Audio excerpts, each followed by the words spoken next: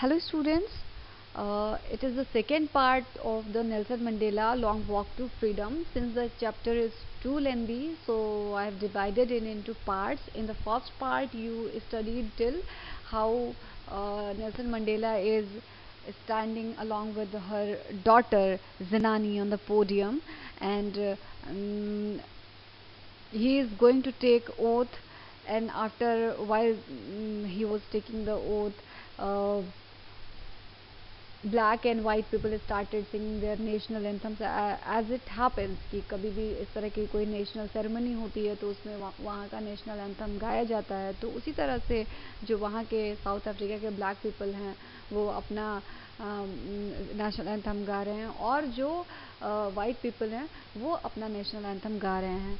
अब उसके साथ ही साथ आप आगे के फर्दर स्लाइड्स में आज की, आज आप पढ़ेंगे कि किस तरह से, वो पहले क्या होता था कि डिफरेंट डिफरेंट होता था, लेकिन आज जो है ब्लैक पीपल वो वाइट पीपल के नेशनल एंथम भी गा रहे हैं और बिन, दो इट डजेंट मैटर कि वो इसका मतलब उनको समझ में आ रहा है कि नहीं आ रहा है, लेकिन फिर भी उसको गा रहे हैं, वो दिल से इस चीज़ को समझने की कोशिश कर रहे हैं, उसी तरह से वाइट पीपल भी ब्लैक पीपल के नेशनल एंथम को गा रहे हैं और समझने, दिल से समझने की कोशिश कर रहे हैं तो इसी चैप्टर को हम कंटिन्यू करेंगे और आज भी आई डोंट थिंक ये चैप्टर कंप्लीट हो जाएगा तो जितना होता है we'll do today and after that we will continue the rest part of the chapter tomorrow.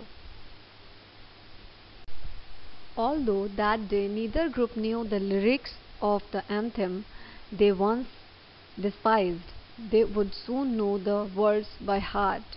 On that day of the inauguration, I was overwhelmed with a sense of history in the first decade of the 20th century, a few years after the bitter Anglo-Boer war and before my own birth. अभी क्या है ये oath ले रहे हैं oath ceremony हो रही है और जो वाइट्स के नेशनल एंथम है, वो भी हो रहा है। फिर उसके बाद जो ब्लैक पीपल के नेशनल एंथम है, फिर वो भी लोग गा रहे हैं। हालाँकि ये जो ग्रुप्स हैं, जो वाइट हैं, वो ब्लैक के नेशनल एंथम को की मीनिंग नहीं जानते हैं और जो ब्लैक्स हैं, वो वाइट के नेशनल एंथम की मीनिंग नहीं जानते हैं। बावजूद उसके वो जो हैं, वो ग्रुप्स में गा रहे हैं, वो उसकी मीनिंग नहीं जानते हैं। लेकिन बावजूद उसके वो गा रहे हैं। बाय हार्ट उस चीज़ को समझने की कोशिश कर रहे हैं। अब इनाग्रेशन के दिन आ, एक होता है कि जितने भी ये तो अचीवमेंट है। आज डेमोक्रेटिक लीडर बन गए हैं ये प्रेसिडेंट हैं। लेकिन नेल्सन मंडेला उस वक्त उनके दिल में वो सारी चीज़ें उनको याद आ गई जो हिस्ट्री में उन उनके साथ हुई थी जो गुजरी थी। जैसे कि आपको बताया गया कि ये 27 ईयर ये प्रिजन में रहे हैं। क्यों? क्योंकि ये रिवॉल्यूशनरी थे ये अपार्थेड जो सिस्टम था, उसके अगेंस्ट थे तो उसके लिए उनको सज़ा भी मिली। तो वो सारी चीज़ें, जो भी पेन्स थी, जो भी सफरिंग थी इस चीज़ को अचीव करने के लिए उन्होंने जो भी फेस किया था, वो सारी चीज़ें उनके सामने आ गई। अब उसके बाद ये बताते हैं कि ट्वेंटी सेंचुरी के फ़र्स्ट डिकेड में, कुछ कुछ सालों पहले a few years after the एक बहुत ही बिटर वॉर हुई थी एंग्लो वॉर वॉर जिसमें क्या था ब्रिटिशर जो इंग्लिश मैन थे और जो अफ्रीकन थे उनके बीच वॉर हुई थी और ये कब की बात है इनके बर्थ से पहले की The white-skinned peoples of South Africa patched up their differences and erected a system of racial domination against the dark-skinned peoples of their own land. The structure they created formed the basis of one of the harshest, most inhumane societies the world has ever known. Now, in the last decade of the 20th century, in my own eighth decade as a man, that system had. So, let's see. Uh, जो war हुई थी uh, जो भी Britishers um, थे और जो African थे उनमें जो वॉर हुई थी उस वॉर के बाद जो वाइट स्किन पीपल थे वो जो भी वहाँ पे साउथ अफ्रीका में, जो भी वाइट स्किन पीपल थे, उन्होंने अपने बीच के डिफरेंसेस को ख़त्म कर दिया और एक साथ कलेक्टिवली खड़े हुए एज अ रेशियल डोमिनेशन यानी रेसेस के बेसिस पे डोमिनेट करने के लिए, यानी वाइट वाइट जो पीपल थे, वो सब कलेक्टिव हो गए और एक साथ एकजुट होके एकजुट होके ब्लैक स्किन पीपल को दबाने में लग गए। और ये जो स्ट्रक्चर जो इन्होंने उस वक्त क्रिएट किया, ये सबसे ज़्यादा, ये जो उभर के आई, वो सबसे ज़्यादा, ये हार्शेस्ट और मोस्ट इनह्यूमन बहुत ही मतलब एक तरह से जैसे जानवरों वाला बिहेव तो ये बहुत ही हार्श था, जानवरों जैसा बिहेव करने वाला था और ये सोसाइटी का, ये वर्ल्ड पूरी दुनिया की सोसाइटी का सबसे ज़्यादा ख़राब सिस्टम थी, ये जो अपार्थेड सिस्टम थी, यानी किसी इंसान को, किस लोगों को उनके बनावट के बेसिस पे just because they are having black skin उनको डोमिनेट करना, उनको बहुत उनके राइट्स जो उनको मिलने चाहिए, उनसे उनको डिप्राइव कर देना तो ये बहुत ही हार्शेस्ट थिंग थी जो कि हुई वर्ल्ड की सोसाइटीज़ में वन ऑफ़ द सोसाइटीज़ यानी साउथ अफ्रीका में, ये बहुत ही हार्शेस्ट थिंग थी जो कि हुई। now in the last decade of twenty century and my own eighth decades as a man that system had अब क्या है अब जब कब यानी 1994 को टेंथ में 1994 को, जब ये ट्वेंटी सेंचुरी की लास्ट डिकेड चल रही है और मेरी खुद की एट्थ डिकेड्स हो गए हैं, एज अ मैन। तो ये किसी जैसे कि आपको पता है डिकेड क्या है? 10 साल के पीरियड को एक डिकेड कहा जाता है। तो अगर नेल्सन मंडेला का अभी एट्थ डिकेड चल रहा है एज अ मैन तो ये कितने साल के हो गए? 80 तो ये अपने एटीज़ में हैं। और एटीज़ में है तो अब ये फर्दर अपनी बात को कंटिन्यू कर रहे हैं। So that system had been overturned forever and replaced by one that recognized the rights and freedoms of all peoples, regardless of the color of their skin.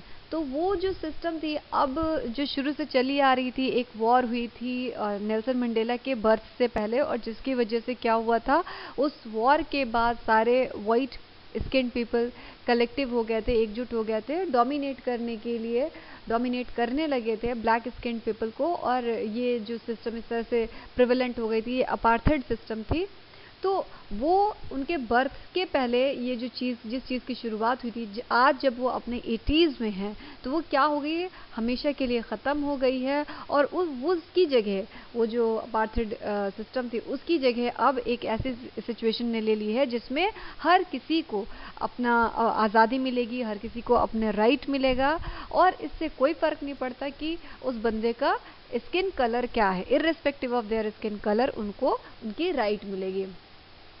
That day had come about through the unimaginable sacrifices of thousands of my people, people whose suffering and courage can never be counted or repaid. और ये जो time है ऐसा एक, एक इस तरह से अनइमेजिनेबल आप इमेजिन भी नहीं कर सकते ये जो टाइम आया है आप इमेजिन भी नहीं कर सकते कि इस टाइम के लिए ये टेंथ में 1994 को नेल्सन मंडेला कह रहे हैं कि इमेजिन भी नहीं कर सकते, उस तरह के सेक्रीफाइसेस किए हैं इनके लोगों ने। और बहुत ही इस तरह की सफरिंग्स फेस किया है और इतना करेज शो किया है जिसको काउंट नहीं कर सकते, जिसकी कोई गिनती नहीं है और जिसको कभी भी रिपे नहीं किया जा सकता किसी भी फॉर्म में इतना ज़्यादा है। ये जो जो करेज इन्होंने शो किया, इनके लोगों ने जो करेज शो किया, जो सफरिंग शो किया, वो अपने आप में बहुत ज़्यादा है अनकाउंटेबल है और इसको पे नहीं किया जा सकता है।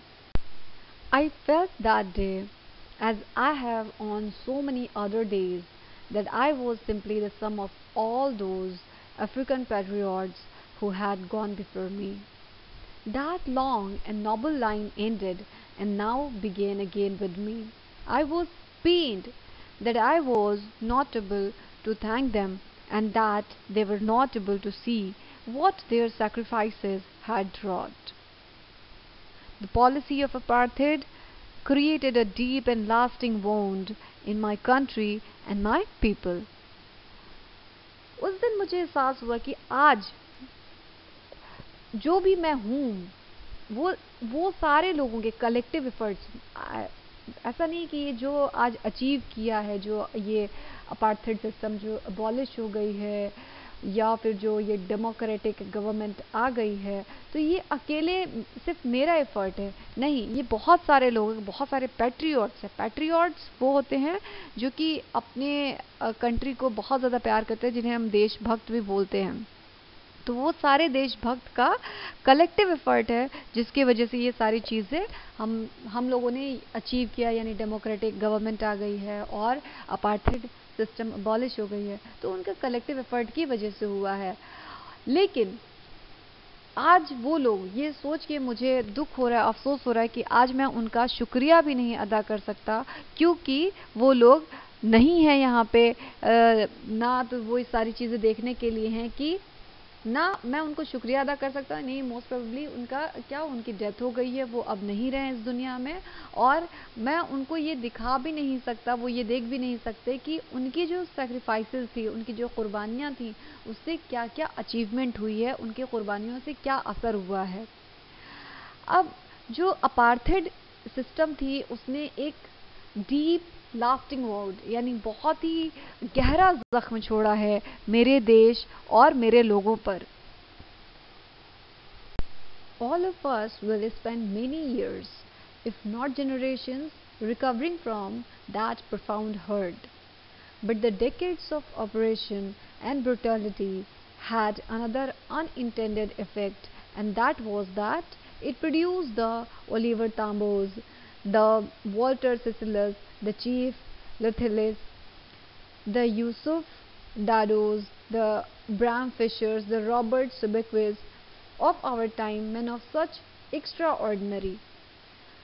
हम सभी को बहुत टाइम लग जाएगा जो ज़ख्म मिला है जो अपार्थेड से जो ज़ख्म मिला है ये ऑलमोस्ट आप देख सकते हैं कि कितना आ, जब अभी ये 80 इयर्स के जब ये बोल रहे हैं तो इतना टाइम दिया है लोगों ने, इसके बीच बहुत सारे लोग रहे हैं और बहुत सारा, बहुत ज़्यादा लोगों ने सफ़र किया। तो ये कैन का कहना है कि जो अपार्थेड जो कंडीशन थी, उसकी वजह से जो लोगों को ज़ख्म मिला है, उसको भरने में बहुत साल लग जाएगा। अगर जनरेशन्स नहीं लगेंगी तो कम से कम बहुत साल ज़रूर लगेंगे, क्योंकि ज़ख्म बहुत गहरा है और उसको भरने में टाइम लगेगा। लेकिन जो ये इतना वक्त गया, जो डिकेट्स ऑफ़ ऑपरेशन है जिस तरह ऑपरेस किया गया, जितना जो, जिस तरह से डोमिनेट किया गया है, जिस तरह से जो भी सफरिंग्स मिली उसकी वजह से, जो भी ब्रिटैलिटी हुई है तो उसकी वजह से एक और दूसरा इफ़ेक्ट आया कि इस, इन, इस इस ब्रिटैलिटी ने, इस क्रूरता ने और इस दबाव ने, इस डोमिनेशन ने एक प्रोड्यूस किया, जन्म दिया बहुत सारे एक्स्ट्रा ऑर्डनरी लोगों को, जैसे जिनके नाम हैं Tambos Walter, Sisulus and chief Luthulis, Yusuf Dadoos the Bram Fischers, Robert Sobukwes. तो ये सारे इन सारे लोगों को, जिनके अंदर एक्स्ट्रा ऑर्डनरी टैलेंट था एक्स्ट्रा करेज था, इन जैसे लोगों को जन्म दिया इस डिकेड ने। Courage, wisdom, and generosity that their like may never be known again. Perhaps it requires such depths of operation to create such heights of character. My country is rich in the minerals and gems that lie beneath its soil. But I have always known that its greatest wealth is its people, finer and truer than the purest diamonds. तो ये जो extra man हैं extra ordinary man हैं, जिनका ज़िक्र अभी आपने previous slide में देखा तो ये एक्स्ट्रा ऑर्डनरी मैन जिनके अंदर बहुत ही एक्स्ट्रा ऑर्डनरी करेज है, बहुत ही एक्स्ट्रा ऑर्डनरी जहनीत है जनरॉसिटी है कम कंपैशन है बहुत ज़्यादा, और इस तरह के लोग दोबारा फिर कभी नहीं दिखेंगे। कभी ये जो लोग थे अपने आप में यूनिक थे और इन जैसे दोबारा कभी नहीं हो सकते। शायद इसलिए कि इस तरह के लोगों का जन्म होने के लिए, इस तरह की लोगों के अंदर, इस तरह की क्वालिटी पजेस करने के लिए ज़रूरी हो कि इतना ही डेप्थ ऑफ़ ऑपरेशन हो, इतना ही गहरा दबाव हो, इतना ही ज़्यादा नेगेटिव प्रेशर हो, तभी इस तरह की हाइट्स ऑफ़ कैरेक्टर यानी हाइट्स ऑफ़ क्वालिटी प्रोड्यूस हो सकती है किसी भी इंसान के अंदर। Further he says my country is rich in the minerals हम सभी को पता है कि साउथ अफ्रीका क्या है? Is known for minerals and gems तो इनका कहना है? नेल्सन मंडेला कहते हैं कि मेरा देश जो है मिनरल्स में जेम्स में, इसके लिए क्या है? रिच है मिनरल्स में और जेम्स में। हमारे मिट्टी के नीचे ये सब जेम्स और मिनरल्स बहुत ज़्यादा हैं। But I have always known that its greatest wealth है लेकिन मुझे हमेशा से ये पता है, मैं हमेशा से इस बात का यकीन करता हूँ कि इस धरती के, इस लैंड की साउथ अफ्रीका का जो ग्रेटेस्ट वेल्थ है, यहाँ के लोग हैं, जो कि बहुत ही ज़्यादा फाइन हैं, बहुत ही ज़्यादा सच्चे हैं, इतने प्योर है डायमंड से भी ज़्यादा प्योर हैं, यहाँ के लोग। तो यहाँ के लोग, हालाँकि ये रिच है, हमारी कंट्री जो है नेल्सन मंडेला कहते हैं, हमारी कंट्री जो है वो हालाँकि रिच है मिनरल्स में और जेम्स में, पर हम, यहाँ की जो ग्रेटेस्ट वेल्थ है वो यहाँ के लोग हैं। It is from these comrades in the struggle that I learn the meaning of courage time and again I have seen men and women risk and give their life for an idea ये जो comrades मतलब साथी, जो इस struggle में, ये इस संघर्ष में जो मेरे साथी रहे हैं, उनसे मैंने सीखा कि करेज का असल मतलब साहस का असल मतलब होता क्या है। टाइम एंड अगेन यानी बार बार मैंने ये देखा है औरतों और मर्दों को अपनी ज़िंदगी अपनी जिंदगियों को रिस्क रिस्क देते हुए, अपनी ज़िंदगी को दांव पे लगाते हुए, और जान देते हुए एक आइडिया के लिए है। I have seen men stand up to attacks and torture without breaking, showing a strength and resilience that defies the imagination. I learned that courage was not the absence of fear, but the triumph over it. The brave man is not he who does not feel afraid, but he who conquers that fear. मैंने देखा है जो भी attacks होते थे उसके सामने लोग कैसे खड़े होते थे, जो भी टॉर्चर होते थे, उसके अगेंस्ट लोग कैसे खड़े होते थे, बिना टूटे, एकदम भी उनका हौसला नहीं टूटता था, वो नहीं टूटते थे, बहुत ही ज़्यादा स्ट्रेंथ को शो करते थे रेजिलियंस उनका, वो इस चीज़ का डट के सामना करते थे और इसके इफ़ेक्ट से बहुत लंबा इफ़ेक्ट नहीं होता था, वो जल्दी ही इस चीज़ को ओवरकम कर लेते थे और इतना ज़्यादा हौसला ज़ाहिर करते थे, जिसको आप इमेजिन भी नहीं कर सकते। फर्दर ही सेज कि करेज का असल मतलब ऐसा नहीं है, या उन्होंने यहाँ पे सीखा कि करेज का मतलब ऐसा नहीं है कि आपका डर हो ही ना। डर का गायब हो जाना नहीं है, साहस का मतलब। But the triumph over it यानी triumph in the sense victory यानी डर के आगे जैसे जीत है, ये कहा जाता है ना। तो ऐसा नहीं है कि डर का मतलब साहस का मतलब ये है कि डर एकदम से गायब हो जाए। डर रहता है, पर उसके ऊपर काबू पा लेना क्या है? आपका करेज कहलाता है। The brave man is not he who does not feel afraid but he who conquers that fear और जो ब्रेव मैन है ऐसा नहीं है कि जिसको डर नहीं लगता वो ब्रेव मैन है नहीं ब्रेव मैन वो है जिसको डर लगता है और अपने उस डर को वो ओवरकम करता है ट्रू सेंस में वो ब्रेव है No one is born hating another person because of the color of his skin or his background or his religion. People must learn to hate. And if they can learn to hate, they can be taught to love. For love comes more naturally to the human heart than its opposite. कोई भी further he says कोई भी ऐसा नहीं है कि उसको पैदा होते ही वो नफरत करते हुए किसी और से पैदा हो पैदा होता है कि पैदा हुआ और नफरत करने लगा किसी से बिकॉज़ ऑफ़ हिज कलर या किसी और बंदे के बैकग्राउंड की वजह से या उसके रिलीजन की वजह से ऐसा नहीं होता है उनको नफ़रत करना सीखना पड़ता है। और जब वो जब वो नफ़रत करना सीख सकते हैं तो उनको प्यार करना भी सिखाया जा सकता है। क्यों? क्योंकि प्यार तो नेचुरली आता है। ये ह्यूमन टेंडेंसी है। ह्यूमन हार्ट की ये क्वालिटी है। तो कि लव नेचुरली नेचुरली आता है। तो वो प्यार करना भी सीख सकते हैं। कंपैरेटिव यानी जब आप नफरत करते हो तो उसके लिए आपको एक्स्ट्रा एफर्ट डालना पड़ता है। But since you are a human तो इट्स नेचुरल टू यू कि आप love easily kar in comparison to spreading hatred. Thank you students. That's all for today and i hope you are learning well.